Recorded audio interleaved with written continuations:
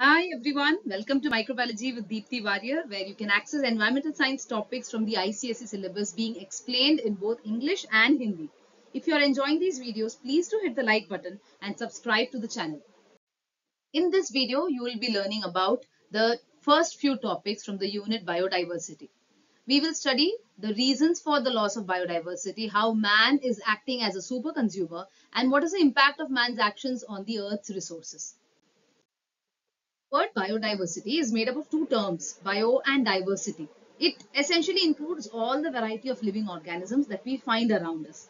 तो चाहे वो जानवर हो या पेड़ पौधे हो या सूक्ष्म जीव हो या बीज हो इन सब जीव जंतुओं को जो भी हमारे आसपास हमें दिखते हैं उन सबको मिला के हम बायोडाइवर्सिटी कहते हैं उस पूरे वेराइटी को बायोडाइवर्सिटी कहा जाता है अब बायोडाइवर्सिटी तीन प्रकार के होते हैं जेनेटिक स्पीशीज और इकोसिस्टम जेनेटिक बायोडाइवर्सिटी का मतलब है वेराइटी या variation in the same species एक ही स्पीशीज में। जैसे यहाँ पे डॉग्स का स्पीशीज दिखाया हुआ है। दे आर ऑल डॉग्स वो सारे डॉग्स ही हैं।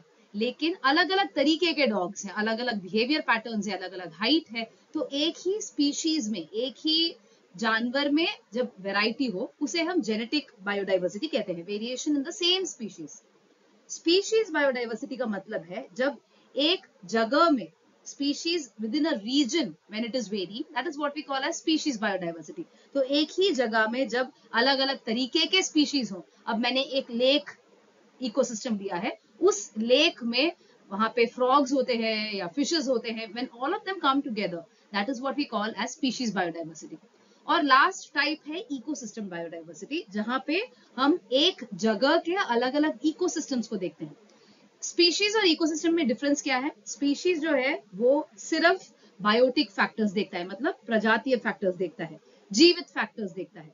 वेर एज इकोसिस्टम में जीवित एंड अजीवित, दोनों को देखा जाता है। तो एक ही जगह में, जैसे मैंने पिछले वाले पिक्चर में दिखाया था, एक ही जगह में आपके पास माउंटेन्स है, उसका इकोसिस्टम अलग है लेक है, पानी है, उसका इकोसिस्टम अलग है बड़े बड़े पेड़ हैं, उनका इकोसिस्टम अलग है, और छोटे ग्रासेस भी हैं, उनका इकोसिस्टम अलग है। तो एक ही जगह में, एक ही रीजन में जब आपको अलग अलग टाइप के इकोसिस्टम मिलते हैं, उसे हम इकोसिस्टम डाइवर्सिटी कहते हैं। तो तीन प्रकार के बायोडाइवर्सिटी हुए genetic which is within the same species species biodiversity where you have a variety of species within a region and ecosystem where you have a variety of ecosystems in a region. These are the three levels or types of biodiversity. Now this biodiversity is facing a great threat due to man's consumeristic attitude. Man is in fact termed as the super consumer because of the human rate of consumption of the natural resources including biodiversity. लेकिन ये जो usage है, ये जो प्रयोग है, वो अभी नहीं शुरू हुआ है। कुछ तीस हज़ार साल पहले से ही मनुष्य ने बायोडाइवर्सिटी और अपने आसपास के नेचुरल रिसोर्सेज को यूज़ करना शुरू किया था। जब मनुष्य के सामाजिक स्किल्स डेवलप करना शुरू हुए या उनकी भाषा डेवलप हुई, जब वो शिकार करके, जानवरों का शिकार करके खाने लगे, तब से मनुष्य यूज़ कर रहा है। आसपास के बायो बायोडाइवर्सिटी को यूज़ कर रहा है। लेकिन पिछले कई सालों में ये यूसेज बहुत हद तक, काफ़ी हद तक बढ़ चुका है, काफ़ी विकास हुआ है, काफ़ी पॉपुलेशन बढ़ा है और इस ओवर पॉपुलेशन की वजह से, आबादी की वजह से डिमांड भी बहुत ज़्यादा है। अब लोग होंगे तो मांगे भी होंगी। मांगे किस चीज़ के लिए? फ्यूएल के लिए वाटर के लिए लैंड के लिए फ़ूड के लिए, इन हर चीज़ों पे, हर नेचुरल रिसोर्सेज पे बहुत ज़्यादा स्ट्रेन आ रहा है बिकॉज़ रिसोर्सेज लिमिटेड है। रिसोर्सेज का नंबर जो है, वो एक लिमिट तक ही है, लेकिन लोगों का नंबर बढ़ता जा रहा है। इस वजह से एक बैलेंस जो था between using and conserving earth वो बैलेंस बिगड़ चुका है, वो संतुलन बिगड़ चुका है because there is too much of population and that population is causing extreme exploitation of all of the earth's resources. तो आपके एग्ज़ाम में किस टाइप के क्वेश्चन आएँगे इस इस टॉपिक से? आपको ये पूछा जाएगा कि डिस्क्राइब वाई और justify why man is known as a super consumer और आपको लिखना क्या है इस बारे में? आपको ये लिखना है कि मैन को सुपर कंज्यूमर क्यों बुलाते हैं? बिकॉज़ पॉपुलेशन बहुत ज़्यादा बढ़ रही है और बढ़ चुकी है कुछ सालों में from the past few years because of which the exploitation of the resources is also very very high आपको इस टॉपिक पे ऐसे एक्सप्लेनेशन देना है।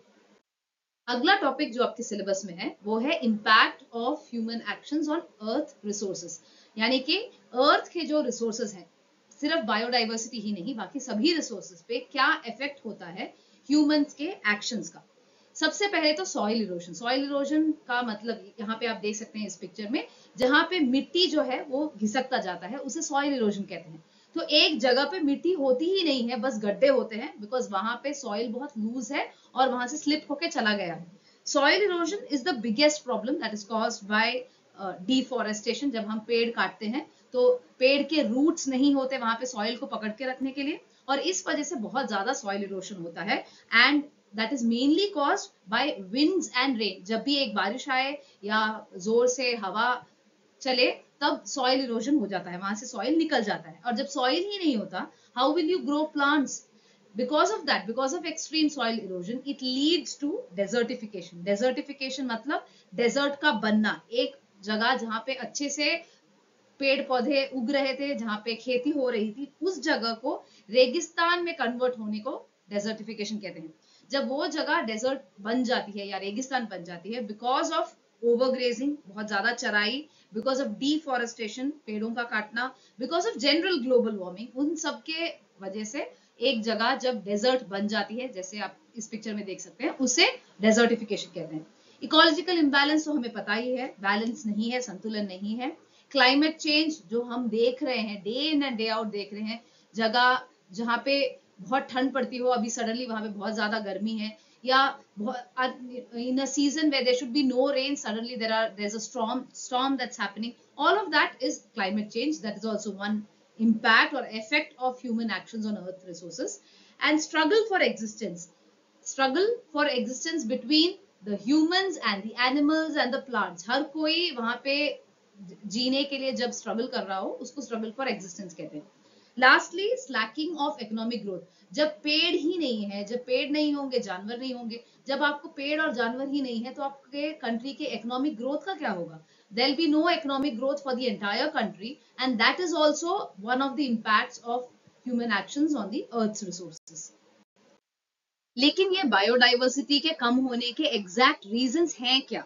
तो ये रीजंस हम दो में डिवाइड कर सकते हैं। एक है नेचुरल रीजंस जो नेचर की तरफ़ से होते हैं। For example if there is a forest fire then definitely there will be loss of the trees in that forest the animals will die but the rate of this happening is much much much lesser in comparison to the anthropogenic causes anthropogenic causes को हम man made causes भी कहते हैं।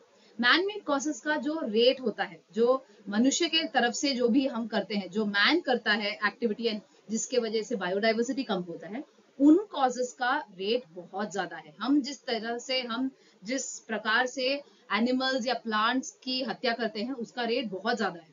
तो हम इस video में anthropogenic causes पे या मैनमेड कॉजेस पे ज़्यादा ध्यान देंगे बिकॉज़ वो ज़्यादा इंपॉर्टेंट है, वो ज़्यादा सिवियर है। पहला एंथ्रोपोजेनिक या मैनमेड कॉज है हैबिटेट लॉस हैबिटेट मतलब रहने की जगह। जो एनिमल्स एंड प्लांट्स के रहने की जगह है जब वो जगह ही नहीं रहेंगी तो वो रहेंगे कहाँ? उनको हम यू you नो know, वो ग्रो कहाँ करेंगे? उनको हम कहाँ देखेंगे? तो the loss of habitat is one of the main reason for loss of biodiversity the habitat loss doesn't mean complete removal of the habitat. It could also mean an alteration in the habitat.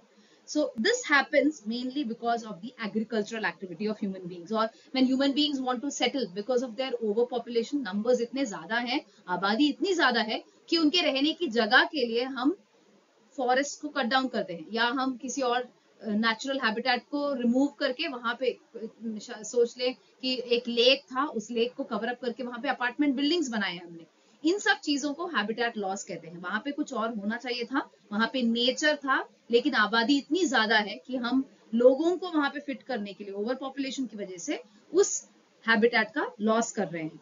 अब इसमें problem क्या है कि पूरा habitat loss तो एक है ही। That is a definite problem but there also something called as fragmentation fragmentation आपको इस पिक्चर में दिखाई दे रहा है। फ्रेगमेंटेशन का मतलब है जब एक जगह पे किस्सों में हैबिटेट लॉस हो रहा है। देर parts of it which is getting lost that is called as fragmentation. Like you can see in this picture this is in ontario's southern boreal boreal forest where you can see that the companies have done an experimentation. They didn't want to remove the forest fully. So they have cut down forest in patches. They have you know tried to uh, remove the forest in some parts left the for forest intact in other parts But you can see over here, these forests host a wide variety of birds and insect population. And now what is happening is they are interrupted. So the birds and insects may be able to travel, but think of land animals. They wouldn't want to come out in the open. There, you know, the the this area where the forests have been cut down is actually a threat for them because they are coming out in the open.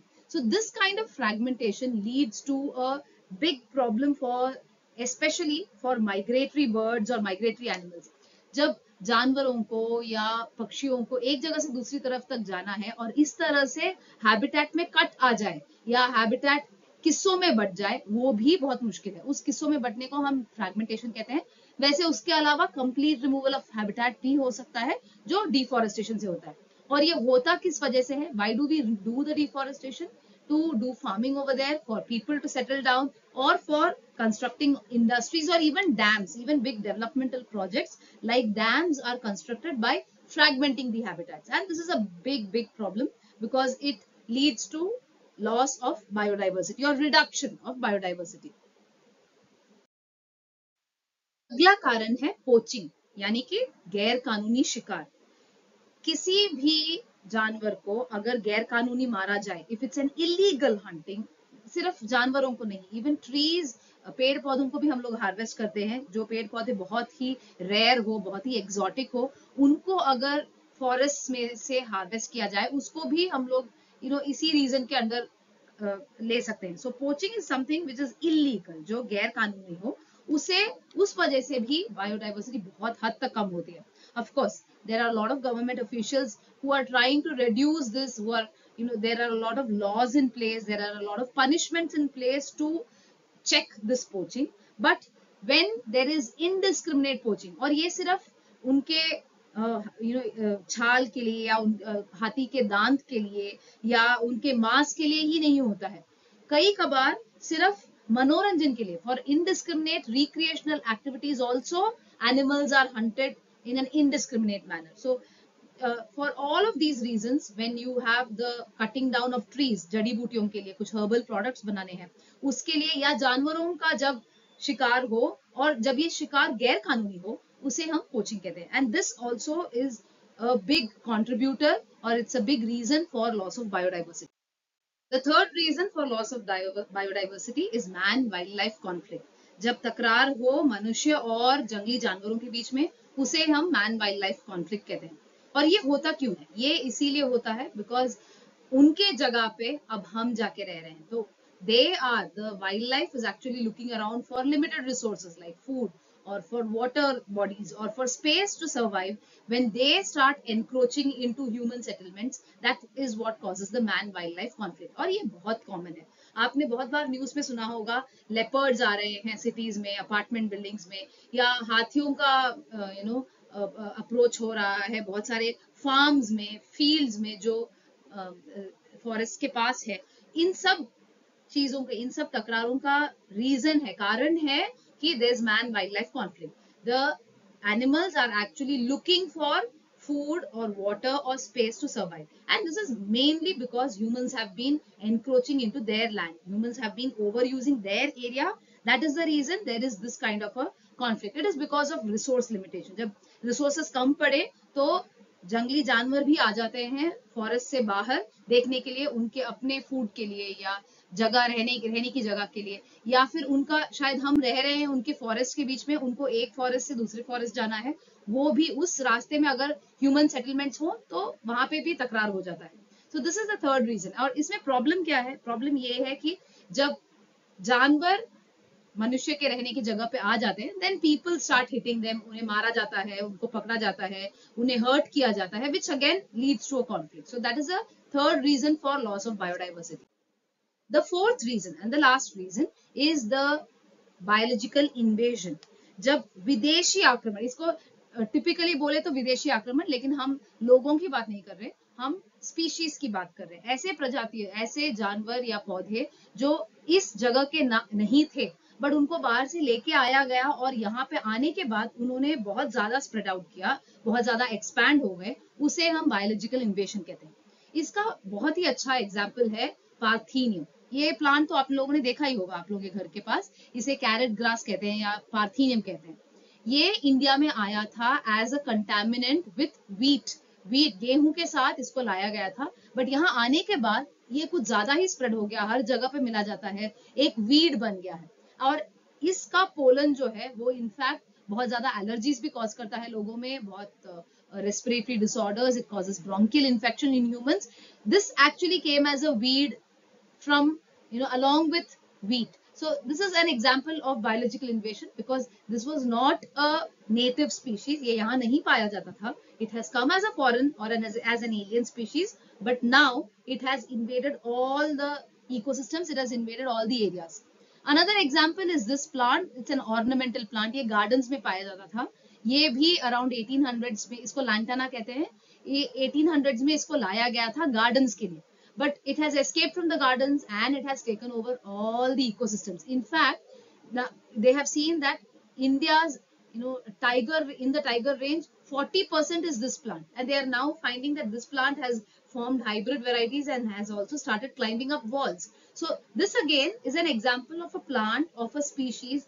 which is alien to a particular region which got introduced. And after getting introduced it has expanded rapidly this again will cause loss of biodiversity of the other plant species. इससे problem क्या है?